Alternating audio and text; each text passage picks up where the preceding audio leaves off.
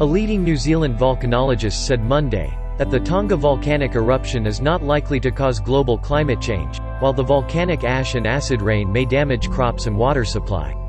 Professor Shane Cronin said the most significant impact so far has been the tsunami generated at the beginning of the eruption. Thankfully, the tsunami in Tonga uh, was not so big. Mostly the damage is not so far from the coast and affecting low lying areas, and people were mostly able to get away from that. Again, thankfully, the ash mostly fell into the ocean uh, on uh, the uh, Tongatapu Island.